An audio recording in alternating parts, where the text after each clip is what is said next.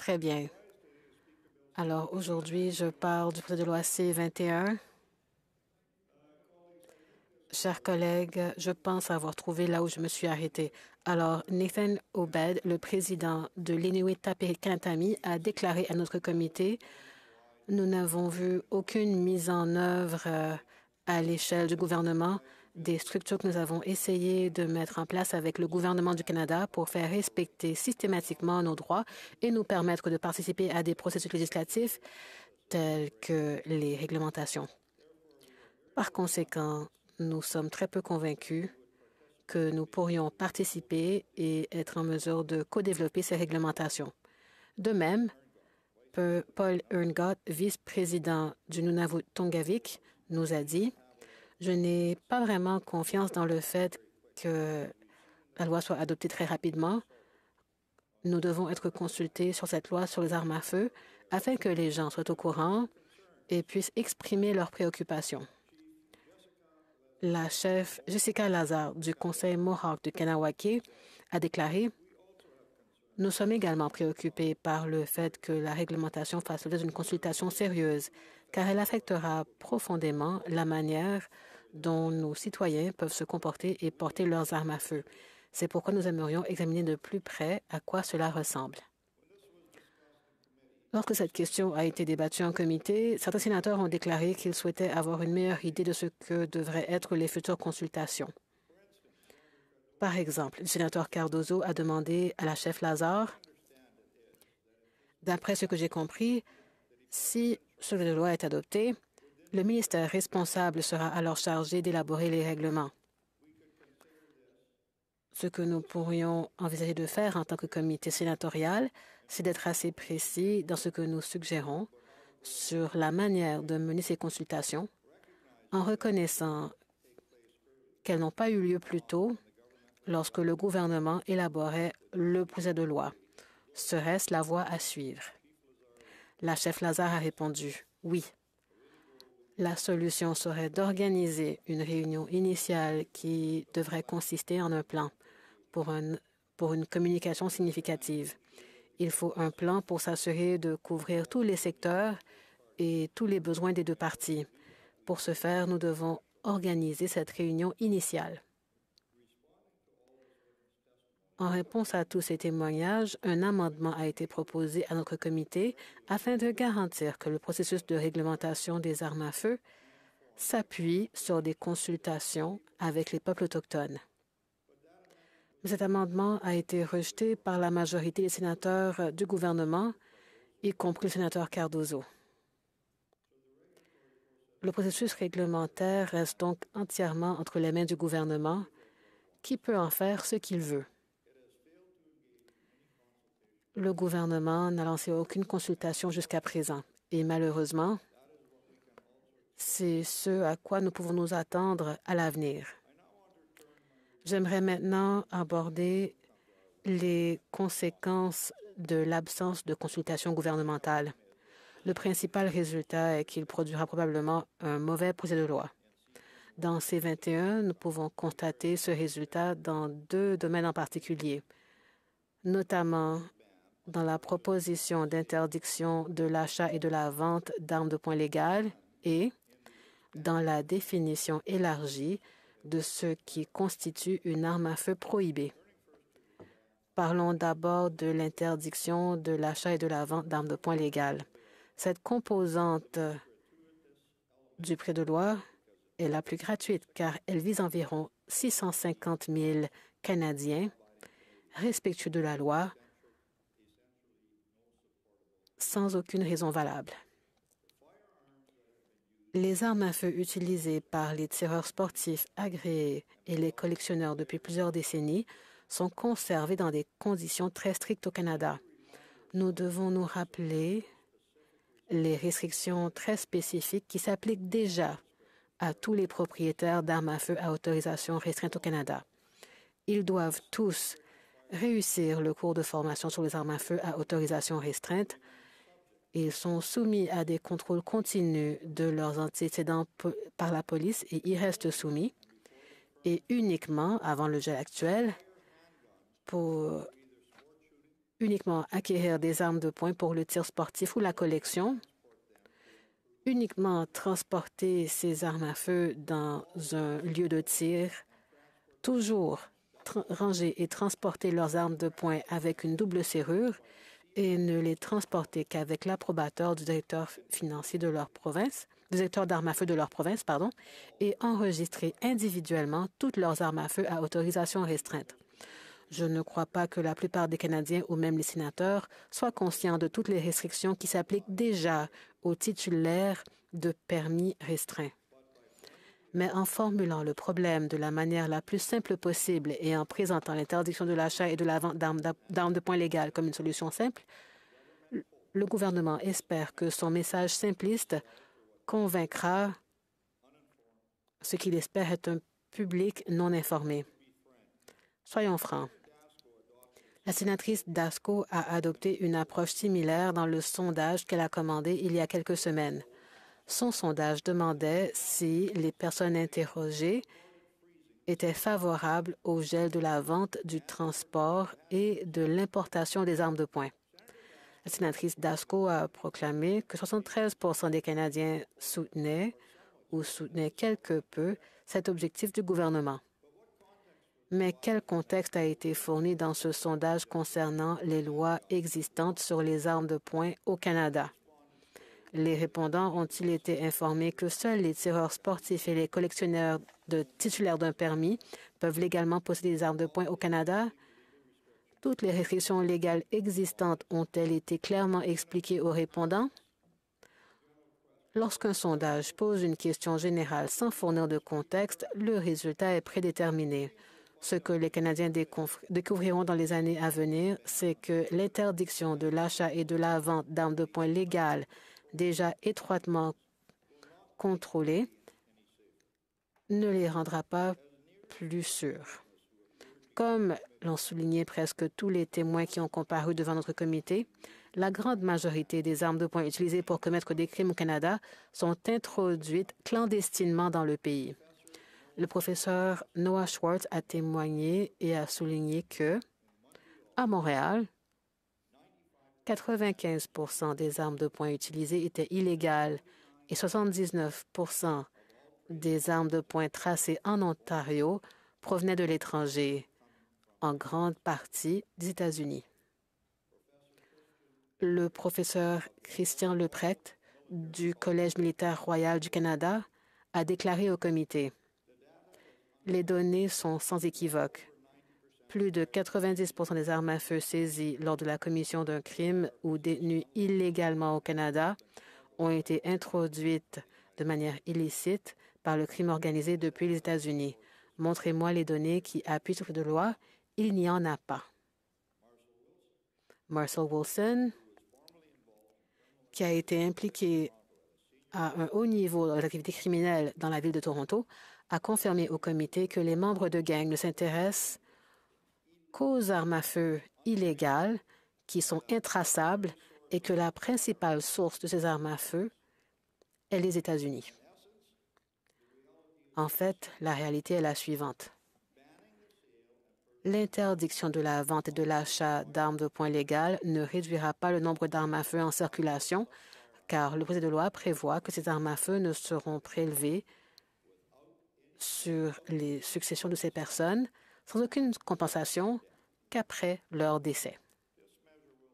Cette mesure n'aura par exemple aucun impact sur les suicides parce qu'elle ne réduit pas le nombre d'armes de poing légales en circulation. En outre, et c'est un fait qui échappe souvent aux sénateurs, tout titulaire d'un permis de port d'armes à feu à autorisation restreinte est déjà automatiquement titulaire d'un permis de port d'armes à feu à autorisation non restreinte pour les armes d'épaule. Cela signifie qu'ils peuvent tous posséder une arme d'épaule en plus de leur arme de poing. En quoi le fait de limiter ce que les titulaires de permis restreints peuvent faire avec une seule catégorie d'armes à feu a-t-il une, incidence sur les, autres sur les autres armes à feu et que ces personnes possèdent déjà légalement? La vérité, c'est que ce n'est pas le cas.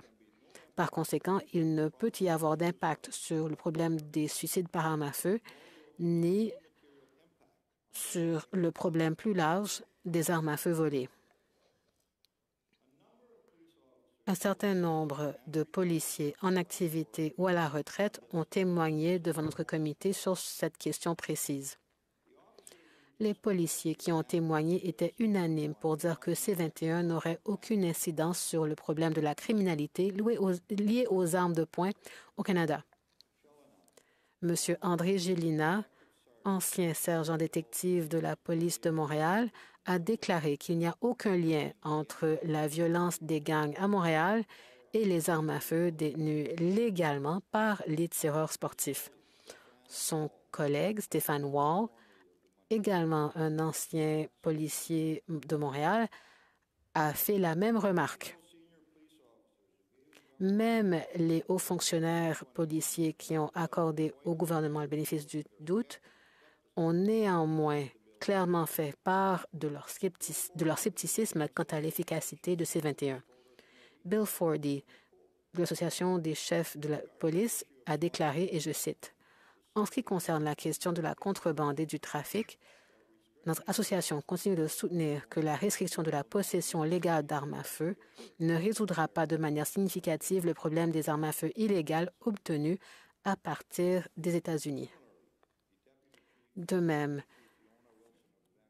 la chef adjointe de la police de Vancouver, Fiona Wilson, a déclaré ceci. À ce jour, à Vancouver, nous avons eu 22 incidents où des coups de feu ont été tirés en 2023, ce qui a entraîné trois homicides et 16 blessés. 15 de ces 21 incidents ont des liens confirmés ou suspectés avec des gangs. Elle a également déclaré que, sans exception, les crimes commis à l'aide d'armes à feu n'émanent pas de propriétaires d'armes à feu titulaires d'un permis. Qu'en est-il des efforts actuels du gouvernement pour s'attaquer au véritable problème de la contrebande d'armes à feu? Mark Weber, président national du syndicat des douanes de l'immigration, a déclaré au comité que la plupart des mesures prises par le gouvernement à nos frontières ne sont en fait qu'un théâtre de sécurité. Aaron McCrory, vice-président de la Direction générale du renseignement et de l'application des lois, à l'Agence des services frontaliers du Canada a déclaré au comité que les résultats obtenus par l'ASFC à la frontière en matière de lutte contre la contrebande d'armes à feu étaient une grande réussite dont ils sont très fiers. Mark Weber a fermement rejeté cette affirmation lorsqu'il a témoigné. M. Weber a dit ceci au comité. La capacité de l'agence à endiguer le flux d'armes à feu illégales ne s'est pas améliorée au cours des deux dernières années. Les agents frontaliers n'ont toujours pas la possibilité d'agir entre les points d'entrée, ce qui rend plus difficile le traitement rapide des situations problématiques. Des outils tels que les rayons X mobiles qui pourraient aider à intercepter la contrebande illégale, y compris les armes à feu dangereuses, tombent souvent en panne. La probabilité qu'une arme illégale entre dans le pays par voie ferroviaire soit trouvée et se rapproche de 0% Toute personne censée serait légitimement préoccupée par ce déséquilibre dans le projet de loi actuel. Un certain nombre de témoins nous ont dit que la mesure du gouvernement visant à faire passer la peine maximale pour le trafic d'armes à feu de 10 à 14 ans n'aura aucun impact sur le trafic d'armes à feu, car même la peine maximale actuelle de 10 ans n'est jamais imposé par nos tribunaux. J'ai noté ce fait lors de, mes lors de mon discours en deuxième lecture et malheureusement, cette conclusion a été confirmée par les témoignages. Le sénateur Youssouf a demandé au représentant du ministère de la Justice quelle était la peine moyenne pour le trafic d'armes à feu. Monsieur Matthew Taylor, avocat général et directeur de la section de la politique en matière de droit pénal en droit criminel du ministère de la Justice a répondu en notant qu'en 2019-2020, il y a eu une condamnation entraînant une peine d'emprisonnement de plus de deux ans. En 2018, les peines allaient de trois à six mois à plus de deux ans. Les peines sont donc ce qu'elles sont. Le gouvernement est manifestement satisfait de ce résultat puisque les sénateurs du gouvernement ont rejeté tous les amendements proposés pour rétablir certaines des peines minimales pour les infractions liées aux armes à feu qui ont été abrogées par ces cinq. Les sénateurs doivent comprendre ce que cela signifie. Cela signifie que les membres de nos communautés les plus vulnérables continueront à souffrir le plus des crimes commis avec des armes à feu. Voici ce que M. Marcel Wilson a dit à notre comité concernant l'affirmation selon laquelle C-21 s'attaquera aux crimes commis avec des armes à feu. Il a dit Arrêtez d'exploiter des gens qui ont déjà assez souffert pour des gains politiques. Nous, savons mieux, nous voulons mieux et nous méritons mieux. Je peux assurer les sénateurs du contraire, ou les sénateurs d'en face, euh, que les Canadiens savent ou vont bientôt savoir que C-21 est un écran de fumée. Il s'agit d'un écran de fumée qui fait des détenteurs légaux d'armes à feu des boucs émissaires. C-21 ne fera rien pour résoudre les crimes commis avec des armes à feu. En particulier, C-21 ne fera rien pour aider les membres des communautés les plus vulnérables. Et cela deviendra très évident à mesure que les crimes commis avec des armes à feu et par des gangs continuent d'augmenter. Le dernier élément que je souhaite aborder est la définition élargie d'armes à feu prohibées qu'il contient. Avant d'aborder cette disposition particulière, je pense qu'il faut rappeler que certaines armes à feu sont interdites à l'usage civil au Canada depuis très longtemps. Il s'agit notamment des armes à feu entièrement automatiques, cela comprend aussi les armes à feu semi-automatiques à, percussion centrale qui tirent plus de cinq balles. Il s'agit des fusils de chasse à canon scié. Il s'agit aussi des pistolets à canon très court. Et ces restrictions comprennent aussi diverses autres armes à feu qui, de temps à autre, ont été sélectionnées pour être interdites pour, une raison ou une autre.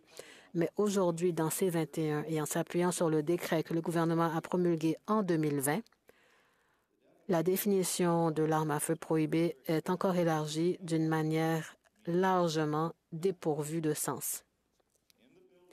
Dans le projet de loi, le gouvernement élargit la définition d'arme à feu prohibée pour y inclure une arme à feu qui incorpore tous les critères suivants. Ce n'est pas une arme de poing. Il tire des munitions à percus, des munitions à, de manière semi-automatique, il a été conçu à l'origine avec un chargeur détachable d'une capacité de 6 cartouches ou plus et il est conçu ou fabriqué à partir de la date d'entrée en vigueur du présent paragraphe.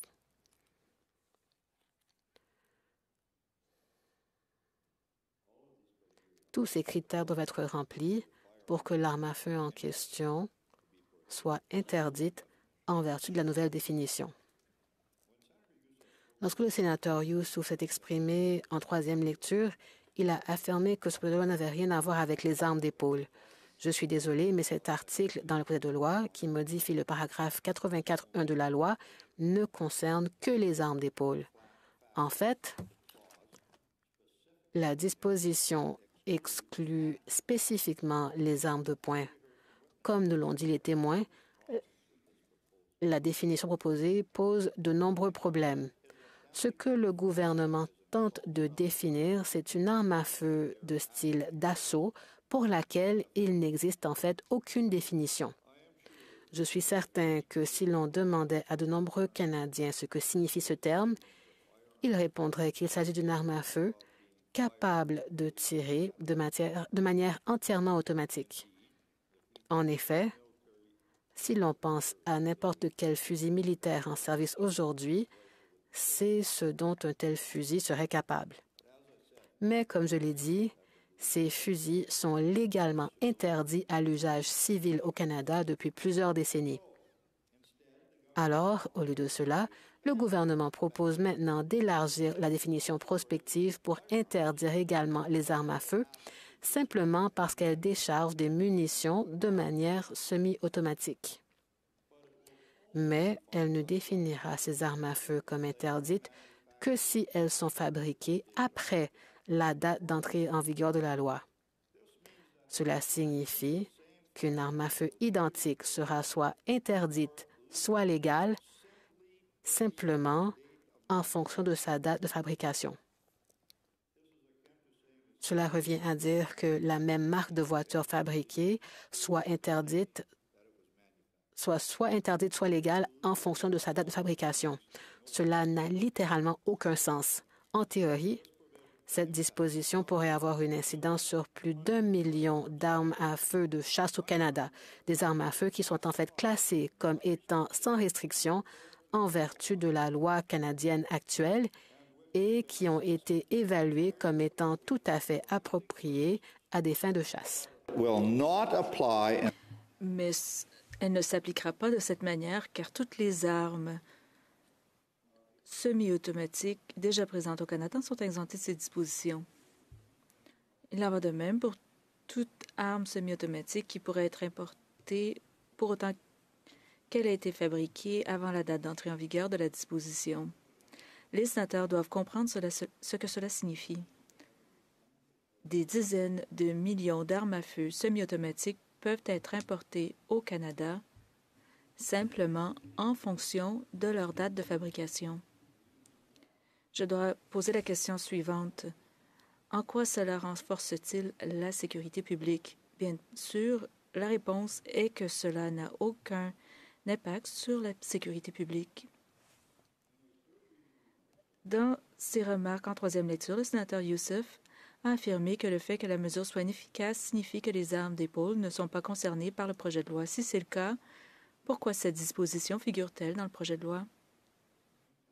Enfin, un amendement a été proposé en comité pour supprimer l'article concerné du projet de loi. Mais encore une fois, les sénateurs du gouvernement, y compris le sénateur Youssef, ont voté contre cet amendement.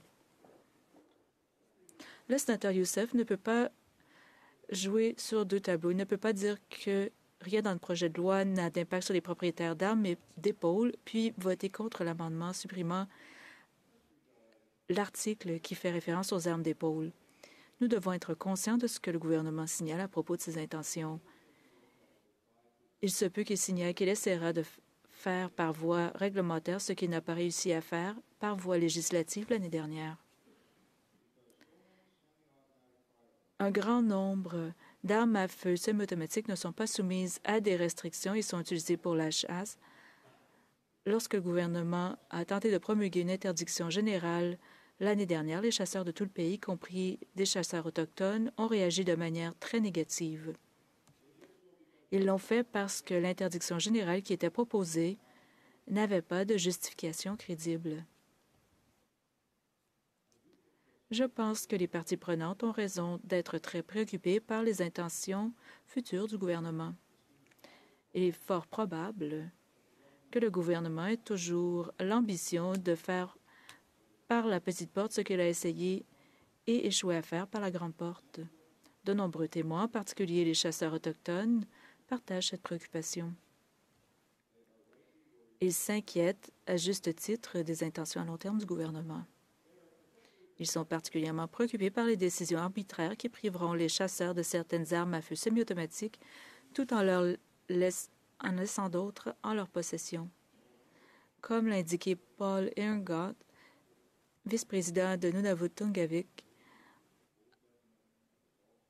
à notre comité, la définition proposée pour ces armes à feu de type d'assaut pose problème, et je cite, La définition est trop large et couvre de nombreuses armes semi-automatiques utilisées pour la chasse ou la défense contre les prédateurs au Nunavut. Les Inuits ont des droits de traiter. Ils ont le droit de chasser en vertu de l'accord du Nunavut.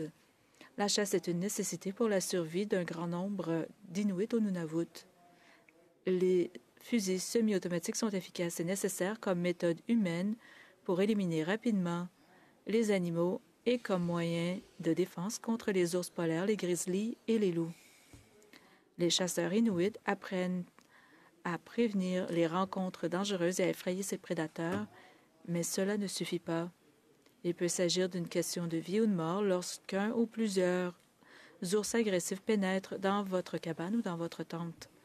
Vous devez être en mesure de les faire fuir rapidement et vous n'avez peut-être pas le temps de recharger. Si ce projet de loi est adopté avec l'interdiction des armes à feu semi-automatiques, nous devrons tirer pour tuer, ce qui entraînera une augmentation du nombre de victimes parmi les animaux sauvages. Nous ne sommes pas opposés à certaines dispositions de la loi, mais la définition large de fusil d'assaut nous préoccupe beaucoup. Il s'agit d'une situation de vie ou de mort pour les gens dans le Nord. Ces gens protègent leur vie, leur famille et la faune. Pour ces chasseurs qui dépendent de leurs armes à feu pour leur subsistance, il est compréhensible que ce soit très inquiétant. En réponse à cela,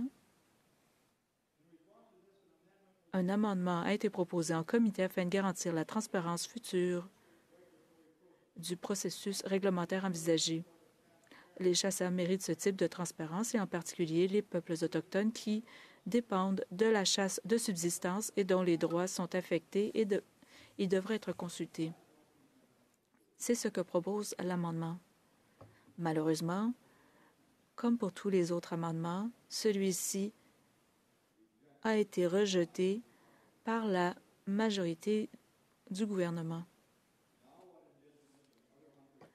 Les chasseurs autochtones et les autres chasseurs craignent que le gouvernement fasse ce qu'il a déjà fait dans son décret de 2020, savoir sélectionner arbitrairement certaines armes à feu semi-automatiques pour les interdire. Nous devons être clairs. La mesure que le gouvernement a promulguée en 2020 n'a absolument aucun effet bénéfique sur la sécurité publique. En fait, il s'agit de l'une des mesures les plus stupides jamais adoptées par un gouvernement canadien. Cette mesure a été à sélectionner certaines armes d'épaule semi-automatiques pour les interdire, principalement en raison de leur apparence, tout en laissant d'autres armes en situation en circulation légale. Une arme d'épaule semi-automatique est interdite, mais une autre arme d'épaule semi-automatique pouvant tirer exactement les mêmes munitions reste légale.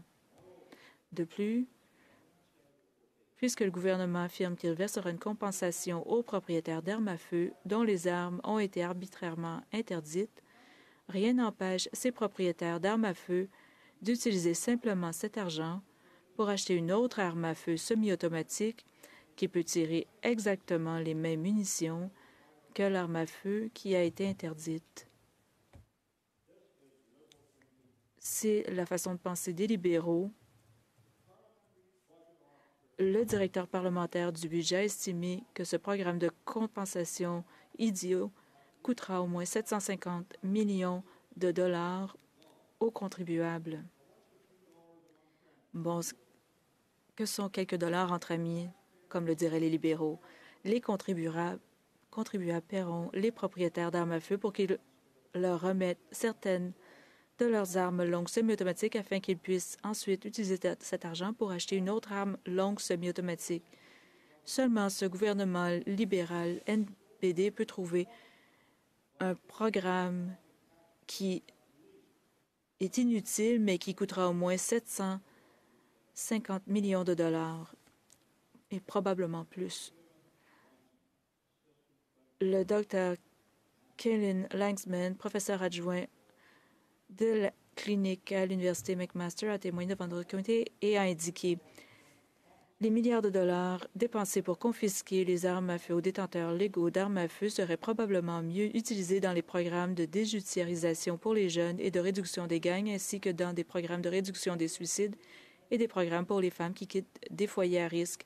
Je vois des gens qui arrivent avec des idées suicidaires à cause de problèmes de dépression il est extrêmement difficile de leur apporter de l'aide. Nous constatons les temps d'attente de plus de six mois pour certaines personnes. Nous manquons de médecins qui travaillent dans ce domaine. Non seulement ces mesures de confiscation n'auront aucun effet bénéfique sur la sécurité publique, mais elles priveront littéralement la police de première ligne et d'autres travailleurs de ressources limitées. Comment ce type d'élaboration de politique publique est-il acceptable? Comment le Sénat, qui est censé faire preuve de second regard objectif, peut-il approuver un projet de loi qui confirme un décret aussi stupide? Pour être clair, je ne m'oppose pas au versement d'une compensation dans certaines circonstances. Les propriétaires d'armes à feu ont acquis leurs armes à feu de façon légale et en toute bonne foi et doivent être indemnisés lorsque le gouvernement décide arbitrairement d'interdire leur propriété et de voler, leur voler leur propriété. Mais la politique elle-même n'a aucun sens du point de vue de politique publique. En fait, Ce qui est fait est tellement inutile et gaspilleur que cela dépasse l'entendement. Tout cela pour donner l'illusion que le gouvernement agit. On ne prend pas les choses au sérieux. Et c'est la réponse qu'on nous donnera à la période de questions. Dans mes remarques que j'ai faites jusqu'à présent, j'ai examiné ce que le projet de loi ne fait pas malgré les affirmations du gouvernement. J'aimerais maintenant me concentrer sur l'un des impacts les plus négatifs du projet de loi, soit son impact sur les tireurs sportifs et les collectionneurs. Ces Canadiens respectueux de la loi peuvent être modestement touchés ou très durement touchés. Je vais commencer avec les collectionneurs d'armes de poing, dont beaucoup collectionnent des armes à feu anciennes. Tony Bernardo, directeur exécutif de l'Association canadienne de tir sportif, a déclaré Il existe un certain nombre de grandes collections et un certain nombre de petites collections. Certaines d'entre elles ne comportent que deux ou trois armes de poing. Ces collections valent, par exemple, 2 000 ou 3 000 dollars.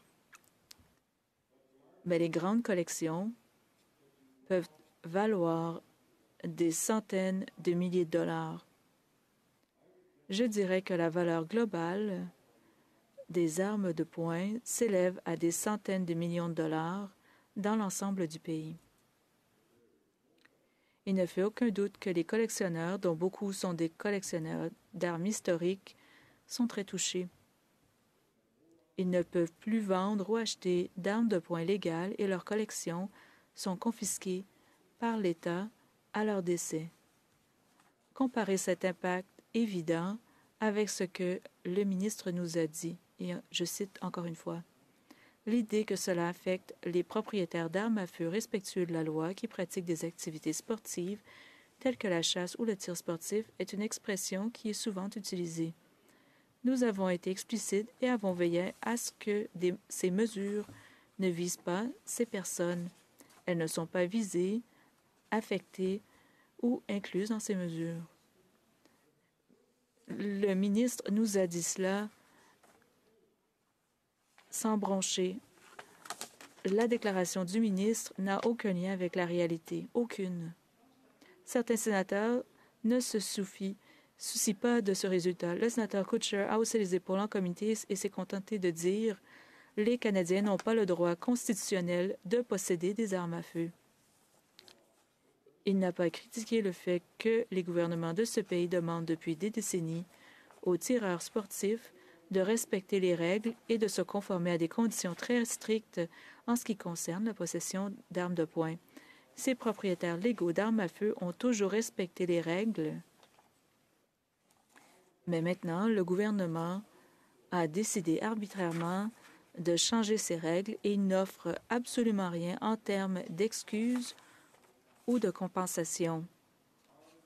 Au moins, notre Premier ministre qui est si bon pour euh, s'excuser euh, devant tout le monde au pays devrait s'excuser ici. À mon avis, c'est tout à fait inacceptable. Paradoxalement, cela garantira également qu'aucun propriétaire d'armes à feu soumis à ces restrictions ne remettra ses armes à feu. Ces armes resteront entre les mains des particuliers, ce qui inquiète tant le gouvernement. En quoi cela renforce-t-il la sécurité publique? La vérité bien sûr que ce n'est pas ça ne fait rien. Le gel de la collection d'armes anciennes ou historiques de quelqu'un est une mesure ridicule. Même pour les sénateurs du côté du gouvernement, cela devrait être plus qu'évident. Je vais maintenant parler de l'impact de ce projet de loi sur les tirs, le tir sportif. les sports de tir au Canada seront détruits par ce projet de loi. Le gouvernement a affirmé qu'il protégerait les compétitions de niveau olympique et paralympique dans tout cela. Encore une fois, le ministre a dit en comité, nous n'affectons pas la capacité de ces athlètes d'élite à accéder aux armes à feu dont ils ont besoin pour leurs compétitions sportives. Il ne s'agit pas seulement des personnes qui participent à ces compétitions internationales pour représenter le Canada, mais aussi de celles qui s'entraînent et se préparent à avoir un jour, espérons-le, l'occasion de le faire. Mais bien entendu, rien de tout cela n'est exact. Ce n'est pas le cas aujourd'hui. Le projet de loi n'est pas encore en vigueur. À cet égard, la sénatrice Deacon a demandé aux contrôleurs des armes à feu qui ont comparu en comité comment ils ont géré l'interdiction d'achat d'armes de poing par les athlètes olympiques depuis que le gouvernement a imposé son décret l'année dernière. Dr. Terry Bryan, euh, contrôleur des armes à feu de l'Alberta, nous a dit Nous n'avons pas réussi à obtenir une seule fois une exemption pour les tireurs de niveau olympique. Pas une seule fois.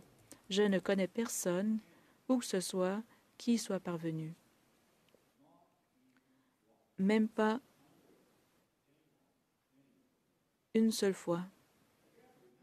Rappelons que le ministre nous a dit que les compétiteurs de niveau olympique sont spécifiquement exemptés qu'il n'y a pas d'intention de les toucher. Chers collègues, bien entendu, c'est complètement faux. Quelqu'un nous a dit précédemment de...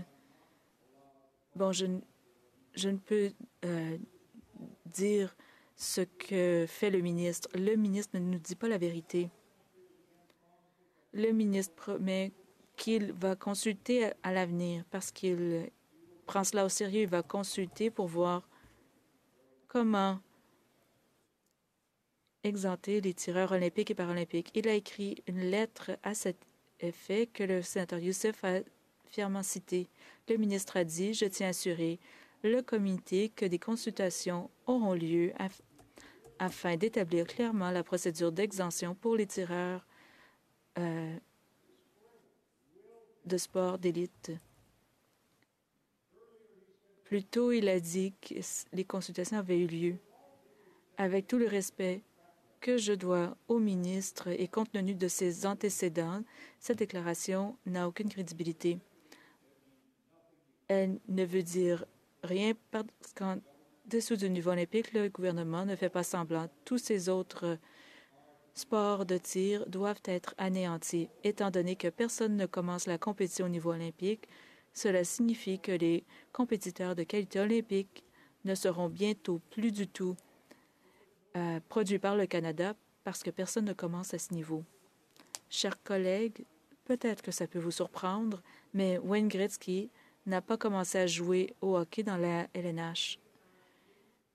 Il a commencé dans sa cour arrière à trois ans. Il s'est pratiqué, il a acheté des bâtons de hockey. Ils, n'étaient pas illégaux. Mais ici, nos tireurs sportifs euh, devraient commencer au niveau olympique. Robert Freeberg est le contrôleur des armes à feu de la Saskatchewan. Il a déjà été un compétiteur de niveau olympique. Voici ce qu'il a dit en comité. J'ai été un tireur sur cible olympique, mais je n'ai pas commencé par là. J'ai commencé par un autre sport, le tir, puis j'ai développé certaines compétences et on m'a dit Et tu as de belles compétences.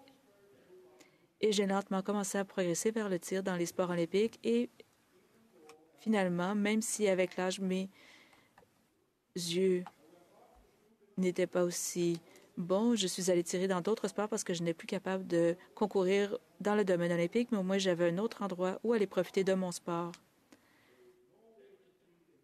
Il n'y a aucun moyen d'alimenter le système olympique. Il n'y a aucun moyen pour nous en ce moment avec cette réglementation. Ils refusent tout simplement euh, d'accepter la demande.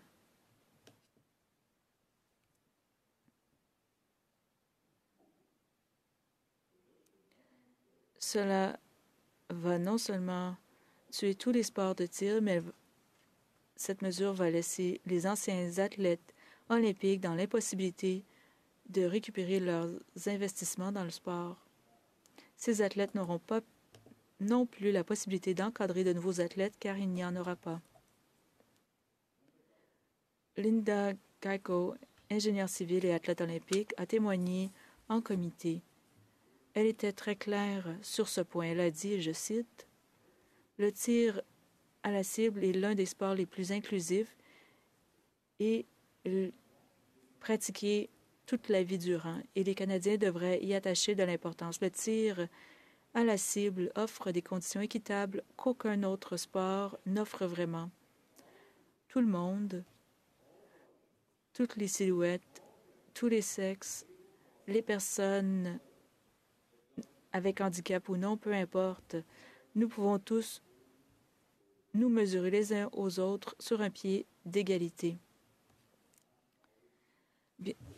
Cela disparaîtra complètement.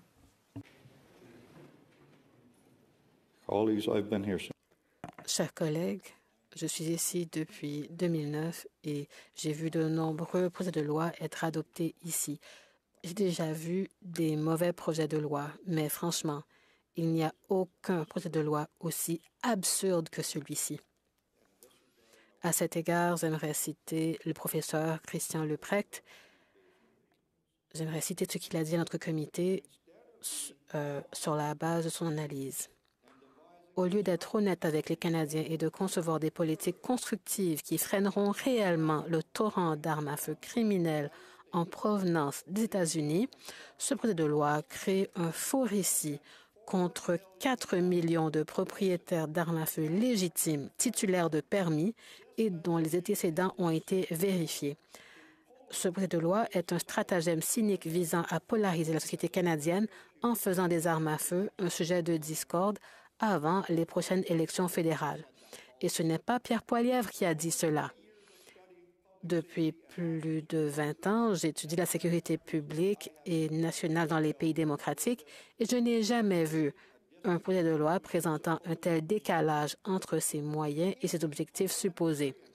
Tout parlementaire qui vote en faveur de ce projet de loi s'engage à mépriser les preuves, à soutenir la dérision, à attiser la polarisation, à encourager la désinformation désinformation, sénateur Gold. Vous utilisez très rapidement ce mot quand on en parle. Ils vont aussi gaspiller les maigres ressources publiques pour des mesures politiques qui n'ont pas atteint leur objectif. Je ne pense pas qu'il puisse y avoir un résumé plus succinct ou plus précis du projet de loi que nous avons ou dont nous sommes saisis. J'aimerais ajouter un autre commentaire à ce sujet. Je comprends les sentiments qui sous-tendent ce projet de loi. Je comprends les sentiments des victimes de la criminalité, en particulier les victimes de la violence armée. Je peux vous assurer qu'il n'y a aucun sénateur au comité qui n'ait éprouvé la plus profonde sympathie pour Samantha Price et pour toutes les autres victimes de la violence insensée par arme à feu qui ont comparu au comité mais il faut des solutions qui fonctionnent réellement. Et tel que je l'ai déjà dit, les conservateurs appuient un contrôle raisonnable des armes à feu.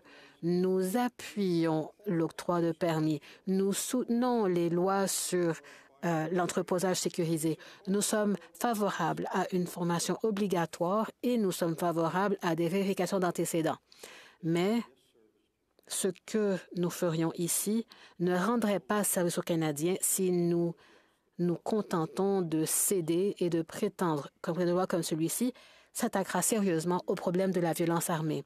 Nous rendons également un très mauvais service aux victimes de la violence armée, qui seront les premières à se rendre compte que C-21 n'apporte réellement aucune réponse à cette violence. Je pense ici à la comparution de M. Boufelja Ben Abdallah, cofondateur et porte-parole du Centre culturel islamique de Québec. Nous savons tous quel terrible massacre s'y est déroulé. Six personnes y ont été assassinées. Elles ont été assassinées dans un lieu de culte. D'autres personnes ont été gravement blessées. Je ne peux imaginer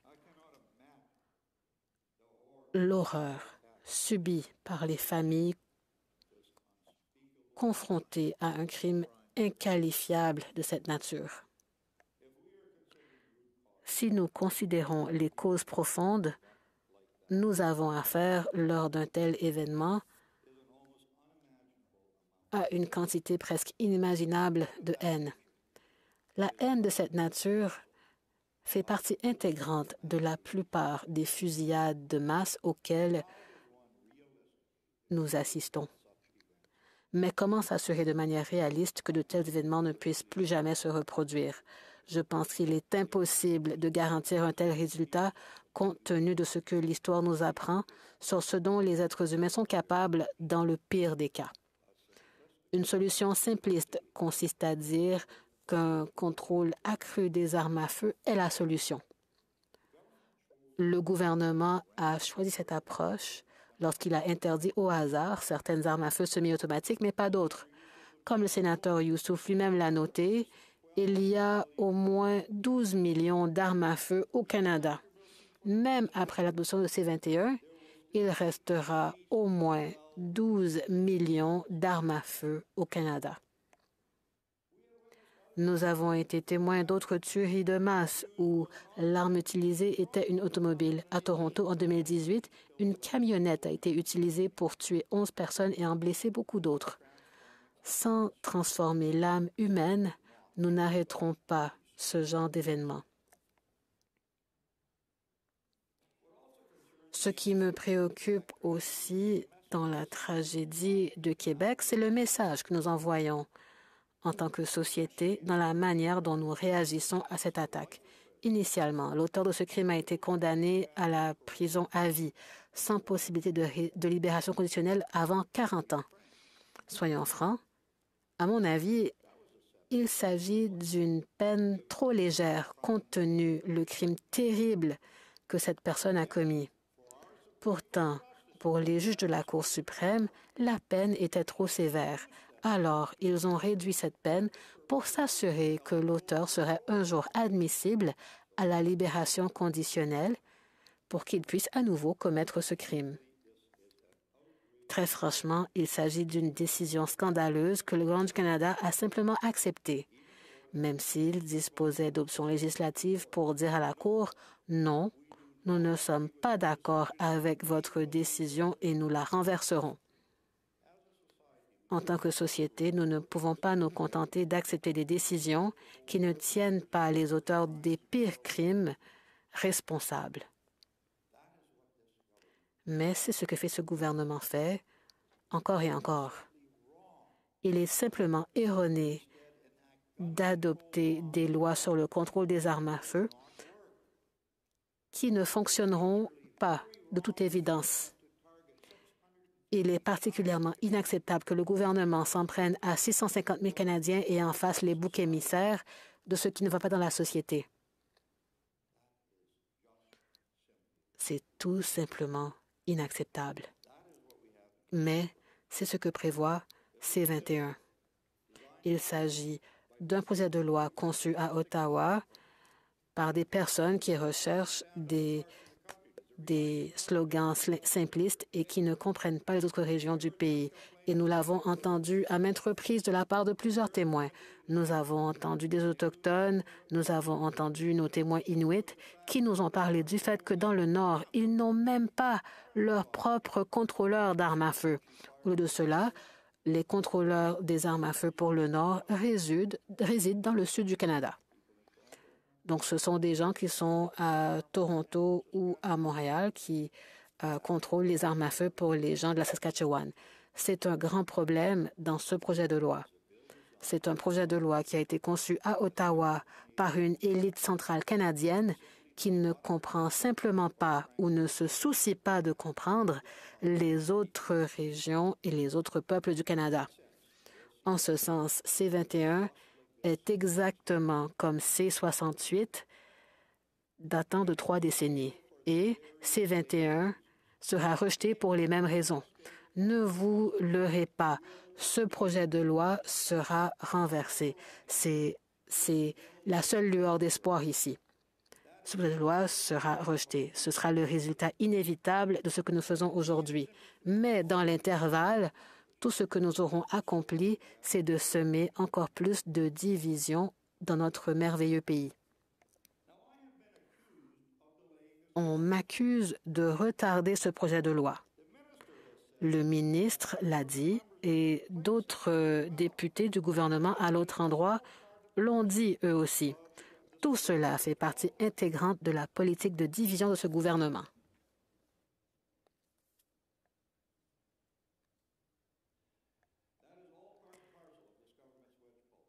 Ça fait partie de la politique de division du gouvernement. On m'a dit que je retardais ce projet de loi avant même qu'il ne soit déposé dans cette Chambre. Avant même qu'il n'arrive ici, on m'accusait déjà, il y avait déjà des gazouillis publiés par les députés du gouvernement. Ils disaient que le sénateur Plett retardait l'adoption de C-21. Mais C-21, même s'il s'agit de l'un des projets de loi les plus stupides jamais adoptés par le gouvernement, il a progressé au Sénat conformément au calendrier et malheureusement, il leur reste un peu de temps pour qu'ils puissent déposer de nouveaux projets de loi. Le projet de loi a progressé au Sénat d'après le calendrier négocié entre le gouvernement libéral, le leader du gouvernement au Sénat et le, chef de l'opposition conservatrice. Dès le départ, c'était comme ça et on arrive ici. Toutes les réunions du comité ont été prévues par consensus entre tous les membres du comité et je souhaite remercier J'aimerais remercier mon collègue pour sa collaboration lorsqu'il traitait avec les membres de mon parti afin de prévoir ces réunions et merci d'avoir accordé, nous avoir accordé les témoins que nous voulions inviter. Les conservateurs ont accepté d'avoir des réunions de comité les lundis. Nous avons aussi accepté de siéger les lundis après les semaines de relâche. Nous avons accepté de siéger les mercredis pendant la plage horaire du comité des affaires euh, des anciens combattants. Le projet de loi a, a conclu son étude article par article le 4 décembre tel que tel qu'agréé. Mais le message du gouvernement demeure pareil. Ils disent que les conservateurs retardent l'adoption du projet de loi. Mais pour votre information, j'ai dit au sénateur Gould la semaine dernière que je voulais prendre la parole et je lui ai dit que je voulais être le premier à prendre la parole parce que je suis le porte-parole. Habituellement, le porte-parole passe en dernier, mais j'ai demandé de prendre la parole en premier. Pourquoi? Est-ce que c'est parce que je veux retarder le projet de loi? Cela n'a aucun sens. Je peux admettre que l'opposition officielle a toujours cherché à rejeter ce projet de loi. Mais sans une divine intervention, cela ne se produira pas. Mais la plupart des témoins qui ont comparu au comité ont demandé de soit supprimer, de rejeter ce projet de loi ou d'y apporter des amendements majeurs. Et la plupart d'entre eux, c'étaient nos témoins. Malheureusement, nous n'avons pas pu le faire. Nous avons fait de notre mieux, mais il y avait un contingent renforcé du gouvernement qui a décidé que la loi sera adoptée, qu'il soit bon ou non, et qu'il voulait l'adopter à tout prix. Mais nous avons fait de notre mieux parce que ce projet de loi n'est pas bon pour le Canada et les conservateurs se soucient du Canada. Nous nous soucions de notre pays et ce n'est pas la fin, ce n'est que le début de ce qui sera une regrettable obligation de revenir sur cette très mauvaise, sur ce très mauvais projet de loi. Nous voulions prendre toutes les mesures possibles pour éviter une telle issue. Mais c'est ce que le gouvernement actuel veut en fin de compte et c'est le résultat qu'il a maintenant. Pour conclure, et je sais que vous avez attendu euh, longtemps avant d'entendre ces mots, oui, pour certains, la conclusion, c'est de la musique à leurs oreilles. Mais j'aimerais revenir pour parler de l'un des nombreux problèmes de ce projet de loi. Un seul problème. Il s'agit de l'impact du projet de loi sur l'ensemble des sports de tir au Canada. Ce projet de loi va non seulement éliminer le sport de tir au Canada, mais elle fermera, il fermera aussi les champs de tir civils dont dépendent beaucoup de policiers pour maintenir leur niveau de compétence en tir. Le sénateur Deakin est, la sénatrice Deakin est l'une des personnes nommées par Trudeau qui pense de son propre chef. Elle a proposé un amendement en comité qui a été rejeté par la majorité gouvernementale, mais je pense que nous devons maintenant y penser à nouveau. Je pense qu'il faut y penser à nouveau. Je sais que le sénateur Youssouf croit qu'une fois que l'amendement est rejeté, il est rejeté à perpétuité, mais cet amendement ferait en sorte que toute discipline de tir soit reconnue comme légitime pour permettre à une personne d'acheter ou de vendre des armes de poing correspondant à cette discipline. Notre comité a entendu de nombreux témoignages sur cette question. J'ai déjà fait référence à ce que l'athlète olympique Linda Kaiko a dit à notre comité. J'ai également cité M. Robert Freeberg, le responsable des armes à feu de Saskatchewan, euh, en comité. Et j'aimerais ajouter une citation de James Smith, président du National Range Officers Institute et de l'International Practical Shooting Confederation. Voici ce qu'il a dit au comité. Même si C-21 n'est pas une interdiction pure et simple des armes de poing, il entraînera une lente disparition de notre sport au Canada. L'absence de nouveaux athlètes pour remplacer les compétiteurs actuels et l'impossibilité de remplacer l'équipement à mesure qu'il s'use entraîneront la fin de notre sport au fil du temps. Elle entraînera également la fermeture des champs de tir pour les policiers et autres organismes qui se servent de nos champs de tir pour s'entraîner et l'arrêt du tir pour les sports, pour le, tir olympique.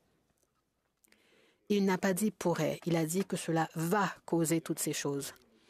L'amendement proposé à l'origine par la sénatrice Deakin vise, du moins en partie, à combler une lacune majeure de ce projet de loi en reconnaissant toutes les disciplines de tir. Elle exige que l'arme de poing en question soit appropriée et nécessaire à la pratique de cette discipline. Certains diront que cet amendement rétablirait le statu quo en ce qui concerne l'achat d'armes de poing. Malheureusement, ce n'est pas le cas. Tout ce que ferait cet amendement, c'est de reconnaître plus de disciplines de tir sous les auspices de ce projet de loi. Pour participer euh, à une discipline de tir, la personne devra être membre d'un club qui propose cette discipline. Je répète ce que les témoins ont dit. À moins que le projet de loi ne reconnaissent et ne protègent d'autres disciplines de tir qui fournissent les tireurs susceptibles d'être assez bons pour participer au tir de niveau olympique, l'exemption de niveau olympique qui figure déjà dans le projet de loi n'a absolument aucune raison d'être. Chers collègues, ce sont les mots que vous attendez depuis longtemps. Alors, je vous demande donc d'appuyer ce que je vais proposer. Je propose donc que le projet de loi C-21 ne soit pas maintenant lu pour une troisième fois, mais qu'il soit amendé. En fait, qu'il ne soit pas lu une troisième fois, mais qu'il soit amendé à l'article 43, à la page 49, en remplaçant les lignes 27 à 34 par ce qui suit. 1. Qu'il participe à une discipline de tir à l'arme de poing 2. Les disciplines auxquelles il participe. Et 3. Que l'arme de poing en question est appropriée et nécessaire pour participer à ces disciplines. Merci, chers collègues.